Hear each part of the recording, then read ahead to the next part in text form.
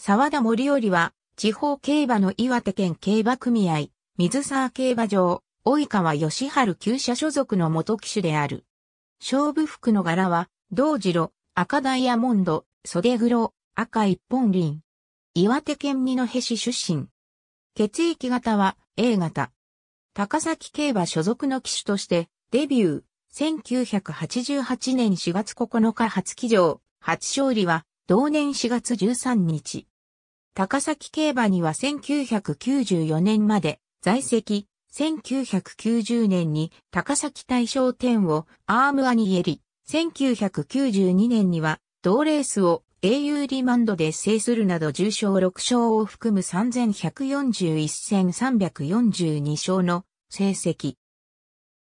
落馬事故で大きな怪我をしたのをきっかけに出身地である岩手に戻ることを決め、水沢競馬場での休務員生活を経て1998年に岩手で騎士復帰、初年度から特別2勝を含む41勝の成績を残す。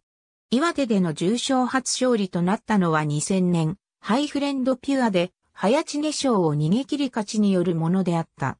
同馬とのコンビで、重賞3勝特別4勝の成績を残す。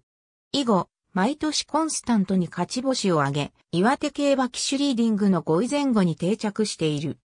2006年7月23日森岡競馬第3競争で大気アンビシャスに騎乗して一着となり、地方競馬通算1000勝を達成した。2011年6月28日付で騎士免許を返上、現役引退の発表が岩手競馬公式 HP から発表された。沢田森織騎手の引退のお知らせニューストピックス、岩手競馬。